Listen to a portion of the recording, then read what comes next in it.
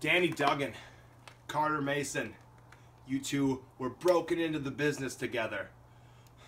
Lucky for you two, you get to fall together.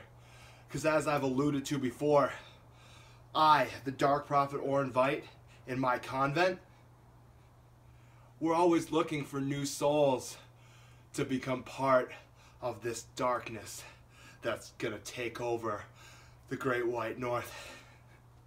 You two are lucky enough to join us together.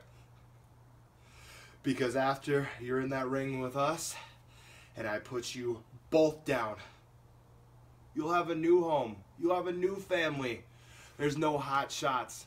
There's no big fame. Because you follow in my shadows, in my witchcraft, in my darkness.